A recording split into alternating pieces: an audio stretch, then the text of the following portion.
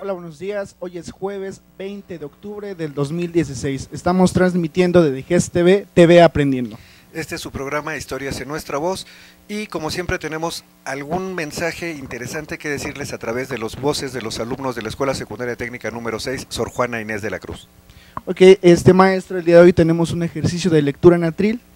Ah, perfecto, pues vamos a darle paso a los alumnos de la Escuela Secundaria Técnica 6 con lectura en atril. Era un lunes como cualquier otro.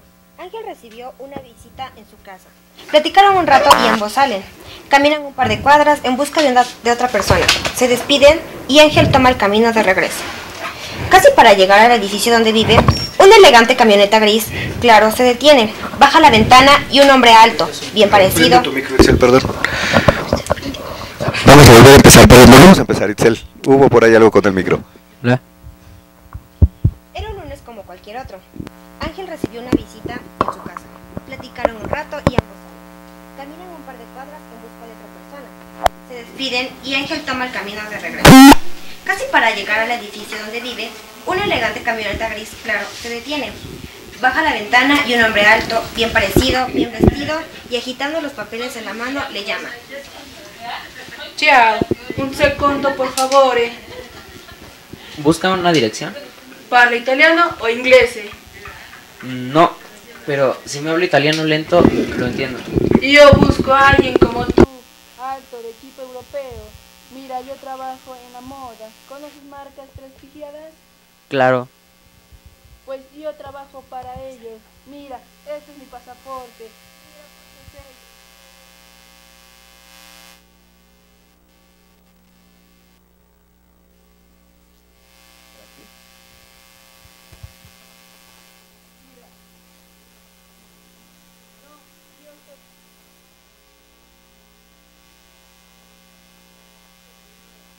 Mañana debo pagar 45 mil pesos de impuestos. Yo te di, y sé que quedarán muy bien unas chamarras espectaculares que tengo. Si tú me das la mitad del valor de una, yo te regalo otras cinco. Ángel, que desde que escuchó que el hombre buscaba a alguien como él, se dio cuenta de lo que se trataba. Sabía que no se acercaría a más, pero decidió escuchar un poco de esa historia que tantas veces había leído en internet, particularmente en las redes sociales. Siguió ahí seguro de lo que haría. Cambió el peso y al moverse alcanzó a ver cómo otro individuo alto y corpulento se acercaba hacia ellos, así como casualmente. Al darse cuenta el italiano de que habían descubierto, el cómplice actuó rápidamente. Mira, permite enseñarte las chamarras. Las traigo en mi cajuela. Ven. Ángel ya no alcanzó a escuchar lo último. Corrió y de inmediato el cómplice abandonó la camioneta y arrancaron perdiéndose en las calles de la colonia.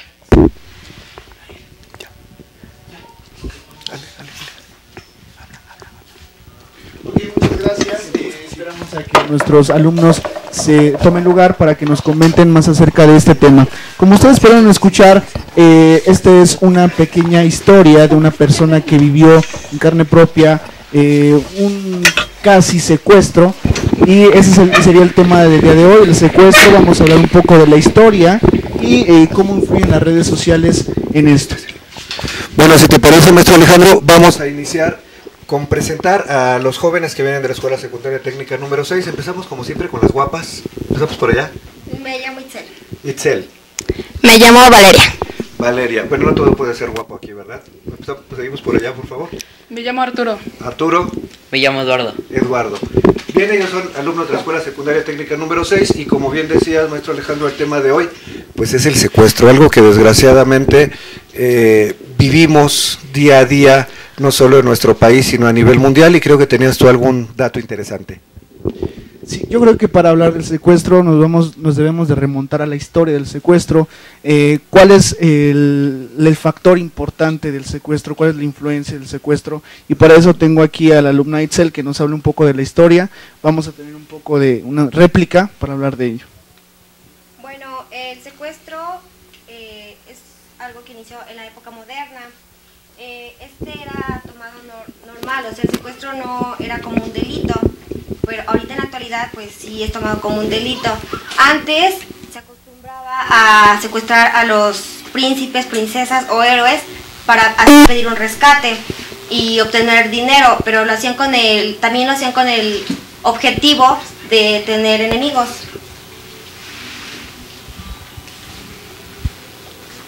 El secuestro express es, en simples palabras, un delito a la moda, ya que, por un ejemplo, agarran, te dicen, te ofrecemos tal, tal producto y luego, tal producto y luego este, te suben a una camioneta, luego te quitan todas tus pertenencias como joyas, dinero, etcétera, y hasta ropa de marca. Que vendría siendo como lo que le pasó a tu personaje en la lectura dramatizada. Sí. Así es. Rescatando un poco de lo que eh, dijo Itzel acerca de la historia del secuestro, el secuestro siempre se ha utilizado como una forma de beneficio para algunas personas. Eh, comentábamos hace un momento antes de entrar a, cuadro, eh, el secuestro particularmente en México se utilizó para poder este, recuperar y embolsar tanto oro y plata, ya que después de la conquista de, de- después de la conquista de los españoles conquistaron aquí América, América era muy rica en plata y oro, entonces lo que hicieron era eh, extraer toda esa toda esa riqueza eh, natural para transportarla en, en grandes corsarios y de esa manera que llegaran a España. Yo le comentaba a Itzel que eh, los piratas se encargaron de secuestrar a los barcos con el propósito de quedarse con esa eh, gran riqueza. ¿Qué más nos puedes platicar? Porque parece que no, no terminaste. Bueno, eh, en la época de la Iliada, que es, una obra literaria, eh, se ocurrió el, el secuestro de la, de la bella Helena, que lo que ocasionó que, que se diera la guerra de Troya. Entonces, pues, el secuestro se,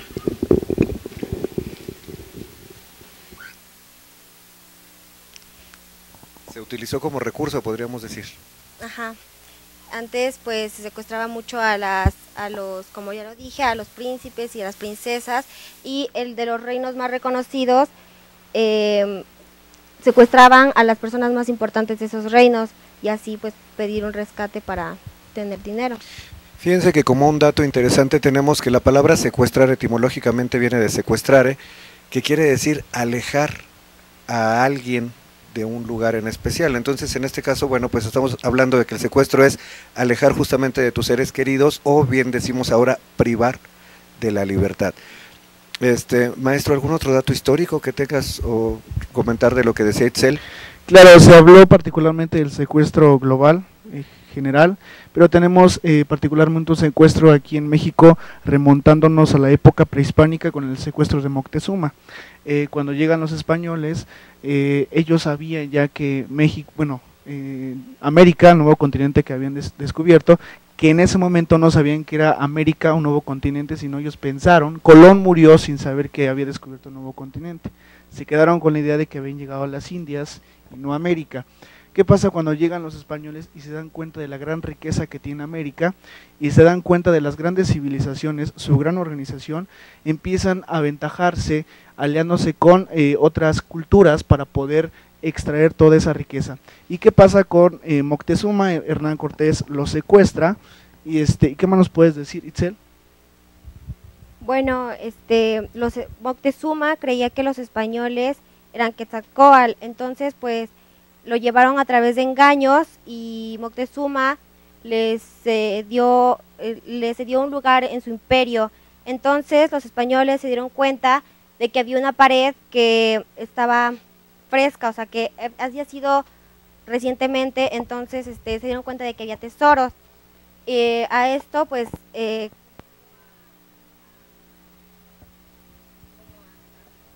ejército para ver el- la- cómo planear el secuestro de Moctezuma.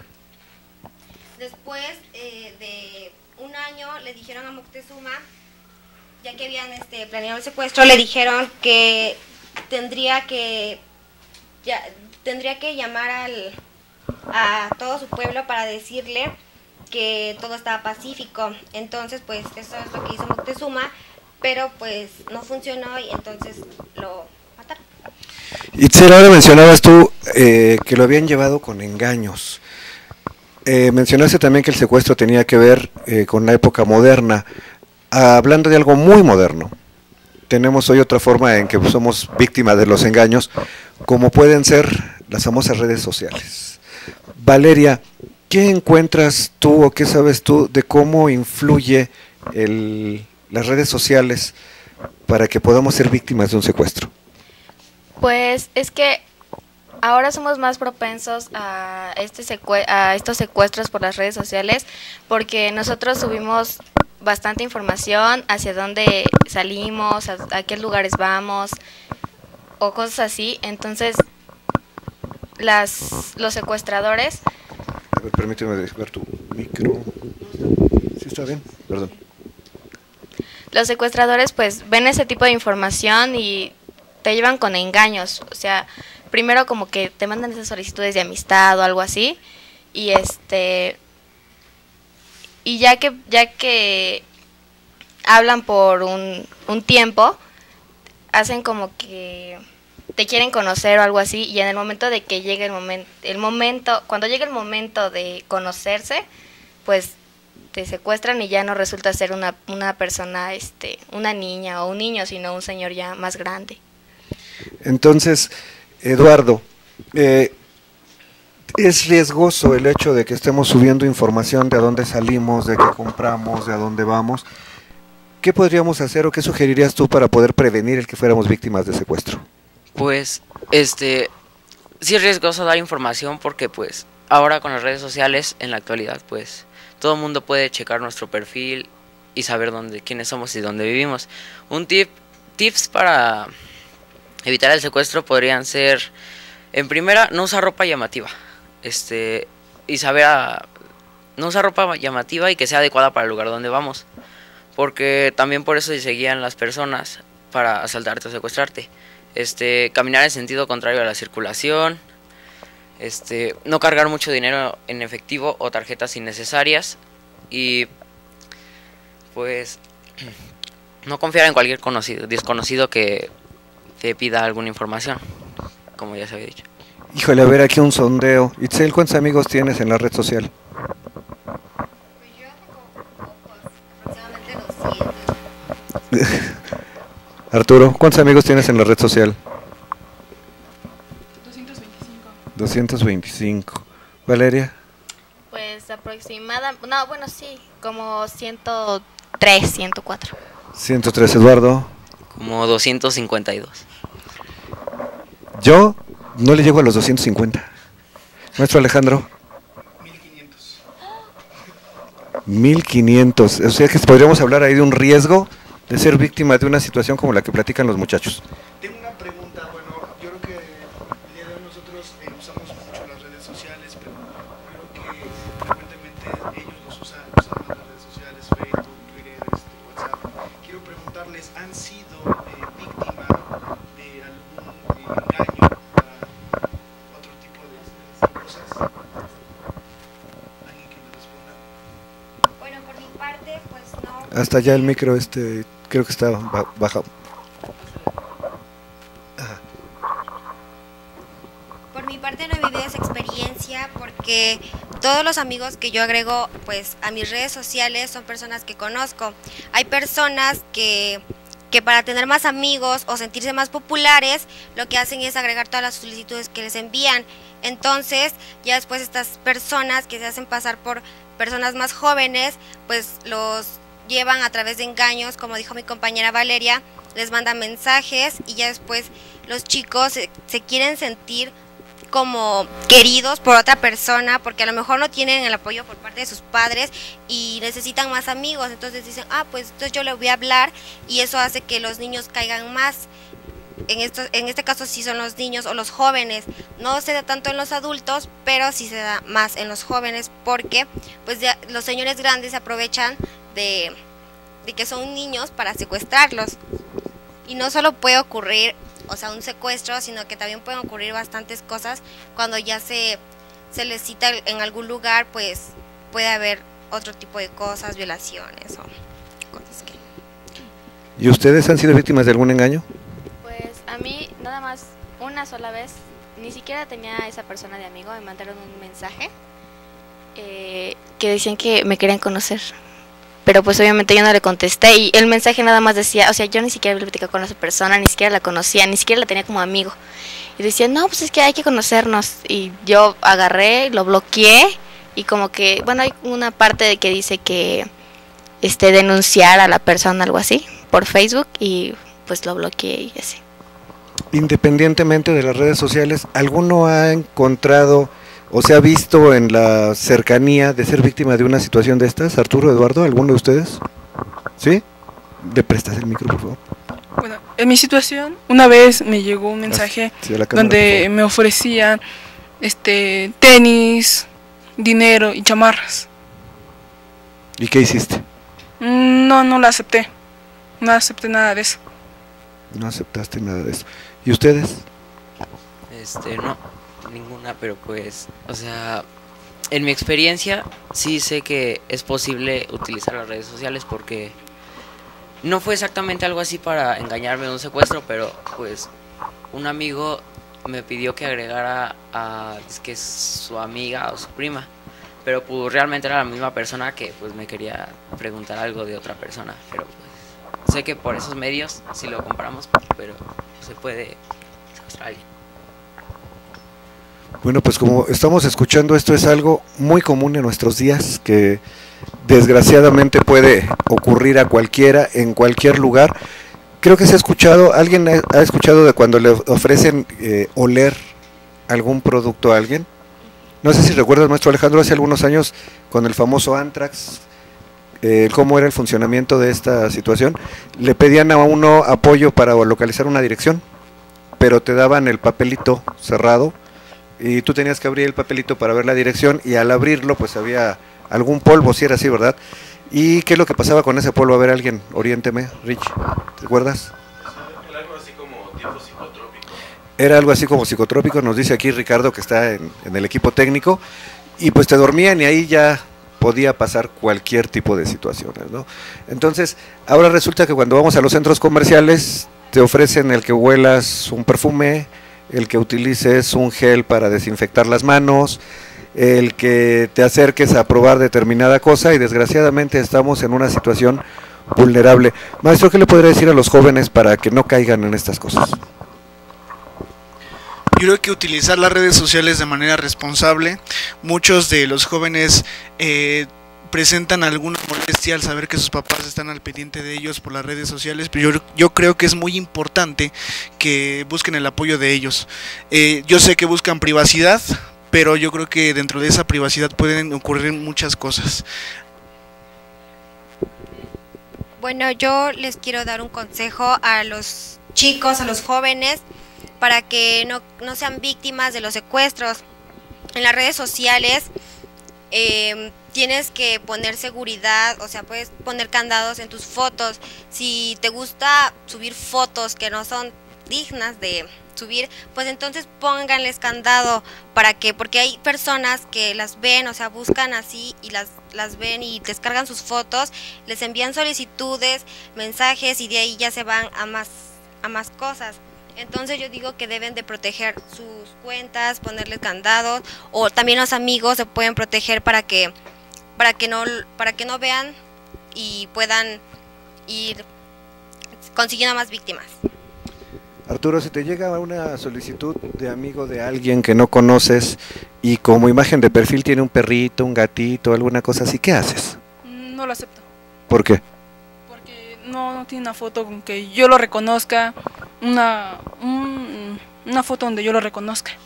Y aparte no, no, no conozco a sus amigos. Y si ves que es una chava así guapísima que parece modelo la que está en el foto de perfil, pero no recuerdas haberla visto, No, no lo aceptaría.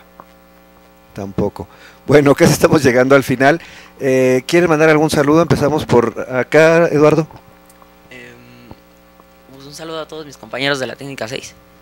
Gracias, Valeria. Pues igual un saludo a todos mis compañeros de la técnica 6 y pues que estén al pendiente de sus redes sociales y que pues no, no cometan ese error de caer en esos engaños para que no les pase algo malo. Mm. Un saludo para mis amigos de la técnica 6 y también que si les dicen te ofrecemos unos tenis de marca, unos, una chamarra, algo así, no las acepten. Yo le mando un saludo a mi familia, a mi papá, a mi mamá, a mi tía, a mi hermana y a mi amiga Frida. ¿Y cómo se llama tu hermana? Pues qué tal que tienes muchas. no, nada más tengo una, mi hermana Aide. Un saludo a la técnica 6, a docentes, directivos y a todo el personal que labora con nosotros. Pues como siempre, esta es una producción de DGES Media Educativa a cargo del licenciado Manuel Salgado Cuevas y queremos agradecer el apoyo del director de la Escuela Secundaria Técnica 6, el ingeniero Mario Espinosa Cafi. Y maestro, el gol de, de radio, por favor. Eh, no, se, no, se, no, se, les olvide escucharnos los días lunes a las eh, once y media por DGES Radio. Eh, el programa se llama Érase una voz. Bueno, y no se olvide que pueden descargar los programas de radio en lo que es la aplicación iBox. Tenemos ahí diferente programación de todo lo que hace aquí en Gest Media y en YouTube, en el canal de Gest Media también. Y pues no se pierdan, Érase una voz. Eh, historias en nuestra voz, ya estoy yo confundiendo televisión con radio. Pues nos vemos dentro de 15 días con un programa dedicado hacia el Día de Muertos que ya se acerca. Hasta la próxima, muchas gracias al equipo, Ricardo, Germán, muchas gracias, nos vemos la próxima.